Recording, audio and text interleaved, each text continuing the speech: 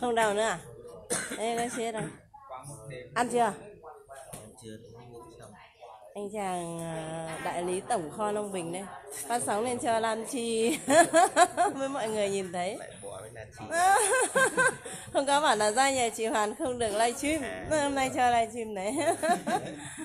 À, cái gì rồi nhỉ? Rồi xin chào là Ờ, xin chào Lan Chi và mọi người đúng không à, bệnh nhân nhà mình đang là ăn sáng.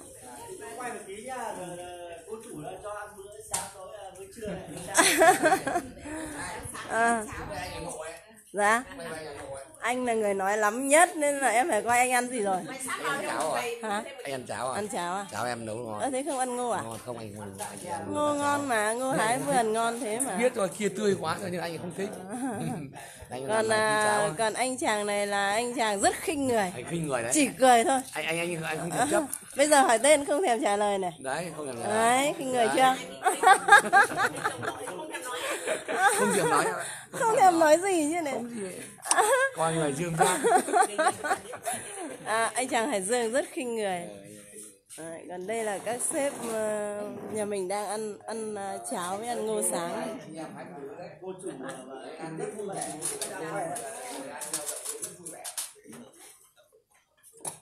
Các bác ăn ờ, cháo ăn ngô nữa đi còn ngô không? Bên ờ, bên chúng tôi được gọi là bà cố đấy. Cô nhỉ cố là mệt thế nên là cứ gọi bình thường là Kim Hoàn thôi em quay anh đẹp trai nắm mồm nhất cái à nắm mồm nhì không lắm đâu không nói được Ờ, anh chị Hào Mai đâu không ăn sáng à? À đây. À Hào Mến, tại ông ông ở Đà Nẵng hôm qua đấy, ông bảo chị là Mai em quên em nhầm tên. em ăn rồi Vâng. Anh đâu? anh không biết được Không ăn sáng à? ờ, Sếp bây giờ mới ăn là sếp. đẹp lão nhất, đẹp lão nhất. Con thích nhất là cái vụ tóc của bà bắt đầu nó đen đen. Vâng.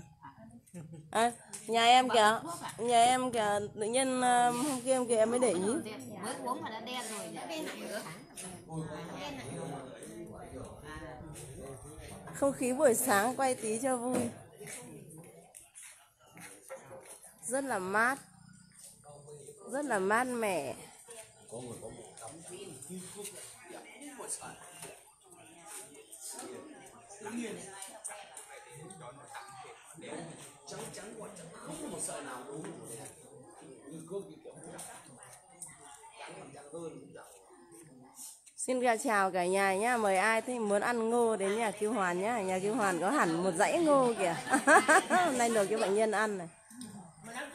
Còn làm mấy tháng mới được bác ngô luộc một phát cho bệnh nhân này.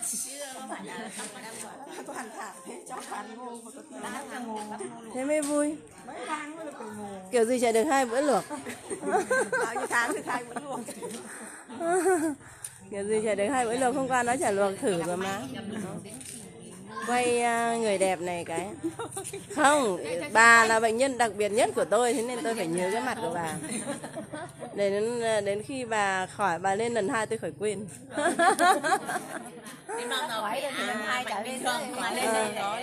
để để tôi khỏi quên tại vì là bệnh nhân về hay nhiều quá là hay quên em không nhớ đâu vâng, ít người làm ai phải thật là có cái gì ai phải có cái gì đặc biệt nhất Em mới biết xe rồi thế nào nhớ.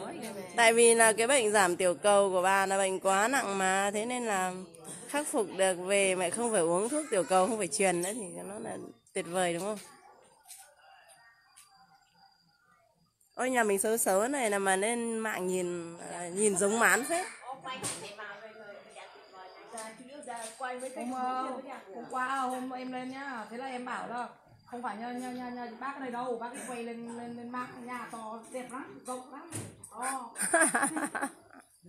Xong con bảo em đấy mà nhưng mà đầy rồi, chắc chắn là chị đã bảo là lên hết cái dốc là cái đầu tiên. Ờ, thế là lên hết dốc chưa nhìn thấy nhà hả đấy thì em bảo không phải đây. Anh bảo đây mà cái ngõ đây thôi bảo không phải. Tại vì nhà nó ở trong sâu mà nó không nó, nó cách mặt đường 50 mét thì nhìn nó chả ấy, à, nó chả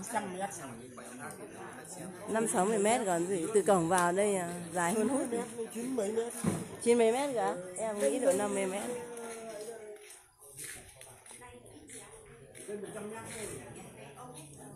làm gì nhỉ? Làm gì từ đây ra đến cổng đến trăm mét nhỉ? Ồ.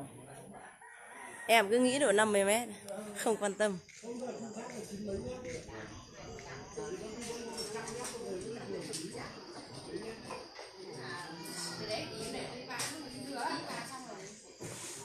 Ơ cái bà ấy đâu rồi? Cái bà mà bị ờ, à đây đây đây đây đây đây. Em hả?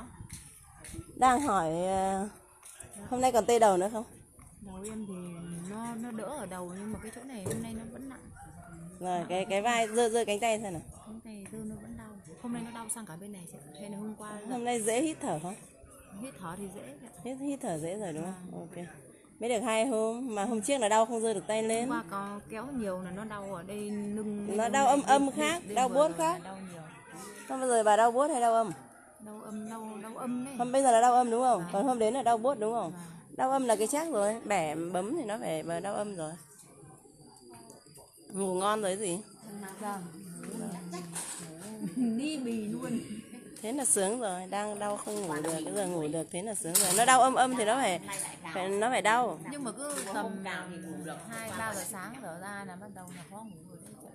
Đấy, em lại phải dậy bốn giờ lại phải dậy đi mấy vòng cổng kìa nãy mới vào nằm tiếp tuổi chị em mình này ngủ được 5 tiếng một đêm đã hạnh phúc rồi. Tôi chỉ ngủ 5 tiếng còn không đến. Ngủ nhiều quá nó béo.